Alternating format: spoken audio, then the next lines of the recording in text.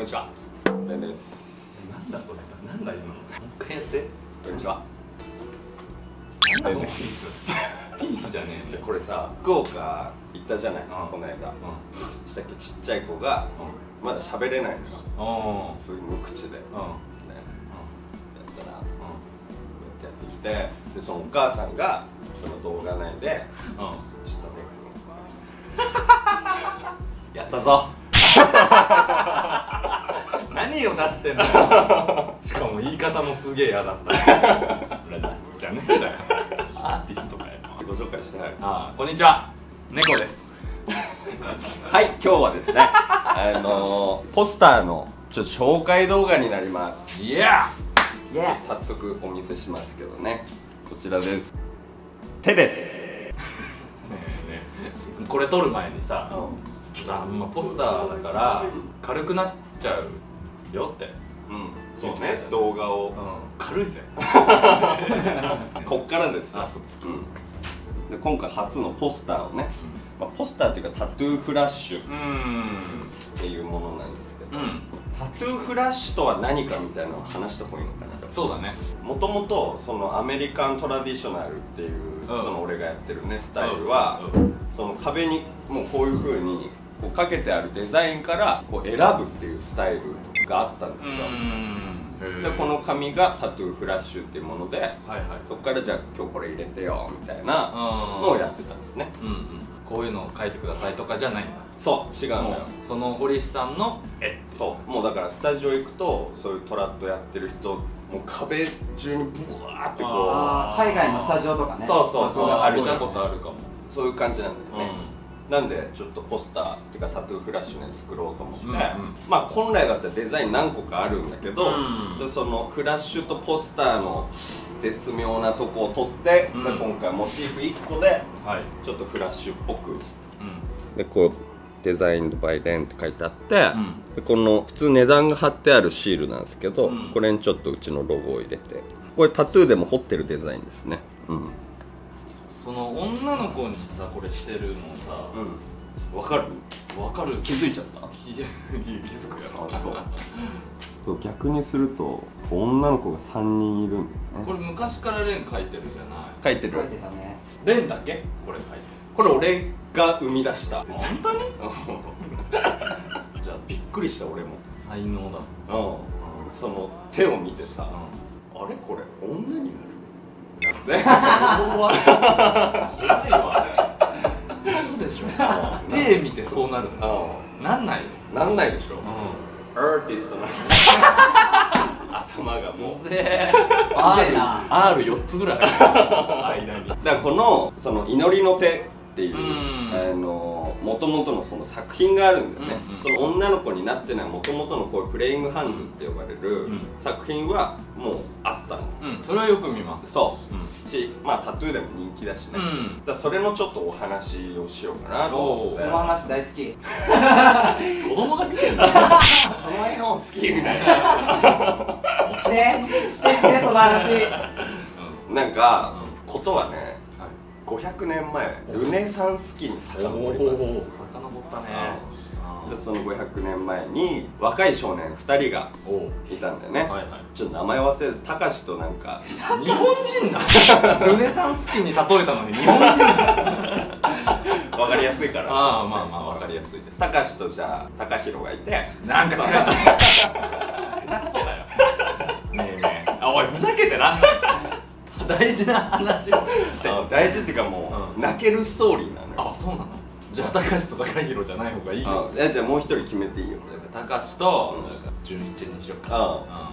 でそのたかしと純一はもともと友達でうんで2人ともその画家を志してたんだよね。うん。でもうん。お金がないと。うんだからその勉強ができない。はあ。どうしようってなった時にそのたかしと純一郎はローついてる。純一。純一の話し合ってう俺が働くから、うん。お前その分で一旦勉強してこいよと。ん純一が？そう。えそれ兄弟いや兄弟じゃない。あじゃないん兄弟っていう説もあるんだけど。ああそのぐらい本当に不確かな。そうそうそう。あでお前がその勉強終わったらん。次逆に俺があ働くからあれしてこいよみたいななんかそういう話し合いになってすごい信頼感だね。うん、でも2人で絶対画家になってやろうぜ。うんうんうんもうそれしか選択肢がなかったのね。そうかそうかそうか。でじゃあたかしはとりあえず絵描いてこいと、はい。修行してこいよ、はい俺働いとくからっつって、ん、で4年ぐらい過ぎました、ああ結構だ。そう。結構働いたね。うん、でもたかしもある程度その絵こなしてきて、うん。で帰ってきてよしじゃあ交換だってなった時に、うん。純一がうもうその鉄工所でその稼ぐためにね必うん。死で働いてたから、はいはいはもう手がボロボロになっちゃったのよ。老人のごとく。でも関節も曲がんない、マジ？うん、それで絵を描けない手になっちゃうんですよねなんで2年2年と ね。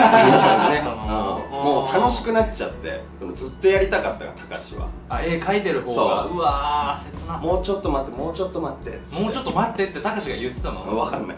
なんだよ。なんだよ。不確か。全部不確かだから。二かしだじゃあ 不確か高志。の話だ。ああそっか全然ふざけてる。で帰ってきてうん。もう手がボロボロで絵描けない状態になっててでそれを高志が見てうわごめんなってなる。うんまあ俺がこう楽しんでね好奇心なうんのもとでこう責任ではある。そうやってたがゆえにお前の手をこんなボロボロにしてしまったと、うん。ってなってである日純一が神様キリストにね祈お祈りしてたんだって、うん。その俺がこんな手になっちゃってうん。あの高志が今すごいその自分に責任を負っていると。うん。自分にこう背負い込まずにやってほしい、うん。どうすればいいのみたいな、うん。もう自分の手もこんなになっちゃってるし、うん。もう何をその救いにすればいいかわかんないみたいな状況になってこれお祈りしてた、うん。そのお祈りしてる姿をたかしがこうちらっと見て「お前のその手を俺にちょっと書かしてくれ」懇願して泣きながらそのうわーめちゃくちゃう。うわ鳥肌立った そう。めちゃくちゃいい話やもらい鳥肌 なんで？だよすんねよ鳥肌一本映画できるレベルの。話だよねあんじゃない？すごいね。だからその話はもう、うんその日本の道徳の教科書とかに載ってたりした時期もあったらしいんだよね。うん。まあそれもでも一説なのよ。うーんじゃあ違う説もあそうるかもしれないんだ。ちょっとハートフルすぎねってこう なる人もいてまあまあまあまあ。うん。あるだろそれは。ハートフルすぎる話ぐらいあるだろ。でそういう風にして生まれたその祈りの手。めちゃくちゃじゃああれ奥が深いんだ。そうなのよ。それは人気ですわ。うん。うん。ただ重たい重たい絵をうん。重たい重たい絵にしたくなかったね、うんそうだよね。うん。意味合い知ってる人だとちょっと重たいなって感じちゃうもんねうんでそれをちょっとこうポップにじゃないけど、うん。山田蓮っぽく描いたらどうなるんだろうっていうので描いた作品です。描いた作品ですっていいな作品っていいうん。まあなタタトゥーの作品だけど。そんなこと言ったら。家みたいになっちゃったなんか。髪もこだわりある。いやもちろん。そこはちょっと私から話させていただいて。なんか頑張ってたところ。全部嘘です、今にも。なんでなんで？この紙ちょっとこれザラッとした紙を使ってるんですがまあその紙にもこだわってその隣がいないちょっと怖くなっちゃうから。そのレンがコーヒーで着色したものをそのザラッとした紙に表現してるんでなんかちょっとこうヴィンテージっぽい感じを表現できたのかなと思っております。でねこのシールがね大変だった大変だったね。このすごいチープな感じに作るのが結構時間がかかって。うんね。その日本ってどうしたってクオリティ高いの作っちゃうじゃん。すごいよね。うん。もう感じ取ってるそれは。うん。でもさレンが作りたいものってさうん。手作りみたいなのとか、わざとらしいなんかこうちょっとアメカジっぽいものとかね、それがまあ日本の技術力がもうはるかにそうなんだよね。回ってるからねそこがちょっと難しいところでけど まあでもあのーお世話になってるところでよくうんいやいい仕事してくれたな。はい表現していただきました、っていう感じですね。その A4 のサイズだけど紙自体がその、ね、コーヒーで着色してるから、うん。額がすごい合うね。そうね。そうなんです縁に白が入ってるうぜひこの額縁であの収めてほしい。ああ白のマットがついてるがそうそうそう。もうだね。なんかこういう黒枠でもいいんだけどこっちの方が、引き立つね、うん、コーヒーがね。そう。うん。そのコーヒーで着色するっていうのももう昔からうんうんオールドスクーラーたちがやってた、うんうん。かっこいいよね。うん、かっこいいよいつから販売でしょうか？えっと6月5日の土曜日です。6月5日の土曜日。12時いつも通り12時あかあ受注。ら受注生産なのでもうみんなゆっくり買って。そうね。吟味して。うん吟味して。でもそんなあの抑えめにしましたので皆さんに行き届くように。うん。そんなとこかな、うん。ぜひに。あぜひに。ぜひに。やだな。んかぜひにぜひにみたいな響きのワードって意外とあるよ。ジムニーとかもそうでしょ？車の。一発目にそれが出てる時点で多分もうない。ですねなんかジムに俺知り合いがさ「え何?」っていうのを口癖の人がいたの。うん。俺その人の「え何? 」あいいね。俺「え何? 」じゃあもうエナリーもやな。かずきさんも。何の話だよ。本当にあじゃあまあそんな感じで。ああとなんか伝えておくことありますか？ね期間いった？あ期間1週間。